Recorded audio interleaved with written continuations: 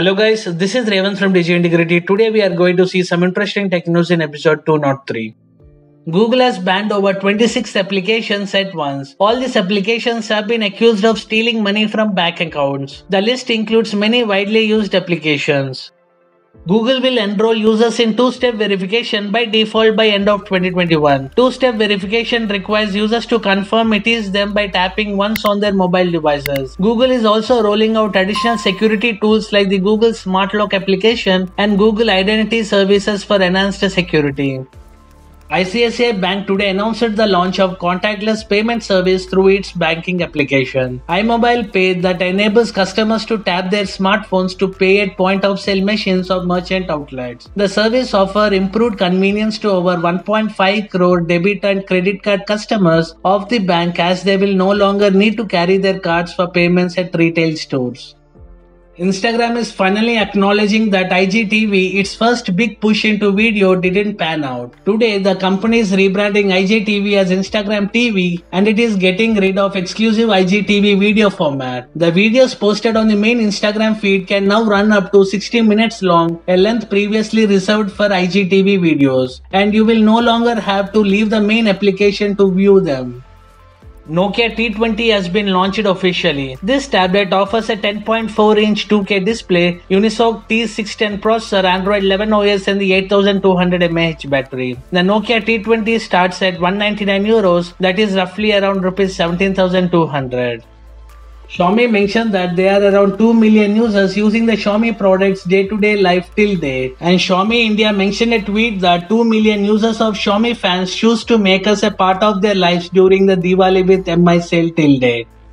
Xiaomi India says that it sold over 100k smart TVs in less than 3 days. 8 out of 10 best selling TVs on Amazon were from the house of Xiaomi. The company says customers have shown huge interest on 4K TVs.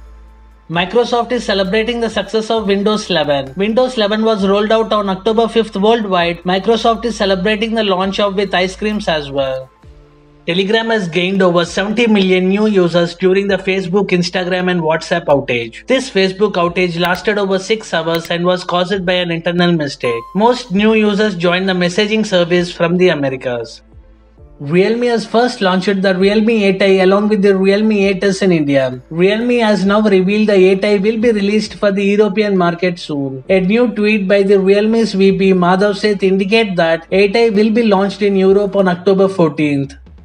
Chinese tech brand Realme sells a wide variety of products mimicking Xiaomi. One of these product categories is speakers. At present, the company sells two portable speakers, namely the Realme Pocket Bluetooth speakers and Realme Cobble Bluetooth speakers. There is also a soundbar called Realme 100 watt soundbars. According to the new leak, the firm will be soon releasing its third portable speaker. The Realme's next speaker will be called as Realme Brick Bluetooth speaker. As the name suggests, the speakers will look like a brick. The leaker has partnered partnered with Realme Times to share the features and images of the product's retail box.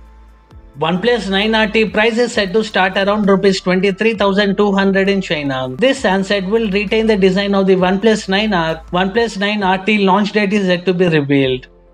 It seems that Google is bringing back the tradition of giving desert names to its Android operating system. Google's Vice President of Engineering for Android, Dave Burke, announced on Twitter that Android 12 has a desert code name. It is being called as Snow Cone. Battleground Mobile India, popularly known as BGM, is introducing 7 new gaming modes for all the players. These modes are not exactly new since they are also available on PUBG Mobile. Since PUBG Mobile was banned last year, the Indian gaming community has shifted towards BGMI, which is essentially an Indian variant of the popular Battle Royale game. The official Instagram page of Battlegrounds Mobile India shared a new creative mentioning 7 mega modes. These modes includes Weekendy, Infection, Survive Till Dawn, Payload to Metro Royale, Runic Power and Titan's Last Stand. Acer India has rolled out 6 new Windows 11 powered laptops. The range starts at Rs 55,999 and gets a variety of Intel and AMD based options. These laptops will be available from October onwards across multiple outlets. The 6 new models that have been brought into the market are the Acer Swift X and Acer Swift 3, the Aspire 3, Aspire 5 and Acer Spin 3 and Acer Spin 5. The Shift 3 price starts at 62,999 Indian rupees and the Shift X starts at Rs 86,999. The Aspire 3 starts at Rs 55,999. The Aspire 5 starts at Rs 57,999. The Speed 3 starts at Rs 74,999 and the Spin 5 starts at Rs 99,999. All 6 laptops will be available from October onwards on Acer C Store, Acer exclusive stores Flipkart, Amazon, Croma, Reliance and Vijay sales. Jio network has been down since 9:30 a.m. on Wednesday. The down detector shows a 4000 reports on network connectivity issues. These reports were based out of Delhi, UP, Bengaluru, Indore, Mumbai and Raipur cities. iQOO 8 Legend will launch in India later this month on early November. iQOO 8 Pro in China could be rebranded as iQOO 8 Legend in India. iQOO 8 Pro specifications include a 6.78 inch 2K display, Snapdragon 888 Plus processor, Android 11 OS, 50 megapixel camera and a 120 watt fast charging support.